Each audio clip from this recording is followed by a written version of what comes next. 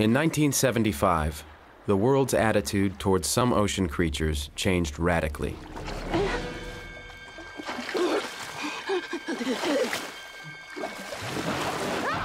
That's when a film based on Peter Benchley's novel Jaws tapped into the most primordial of human fears. Before his death, Benchley remembered what inspired him to create one of the screen's most frightening monsters. The shark was like a maniac to me. It was an unstoppable, uncontrollable force. And that, when I was a child, was always the most scary thing, was the maniac, the, the guy with the axe who you couldn't stop. Peter Benchley has spent years now trying to establish a, a counterpoint to the myth that, that sharks are really out to get us made a good story, but that's all it was, was a good story.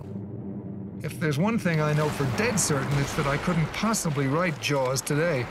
I could not turn this beautiful beast into a villain. Movies like Jaws, you know, I know they're, you know, they, they sell a lot of tickets to people who want to see movies like that, but in many ways they also distort uh, the wonderful nature of that creature. Unfortunately, the damage was done. The demonizing of the great white shark in Jaws, which was meant solely to entertain, may have unintentionally put some species in danger of going extinct.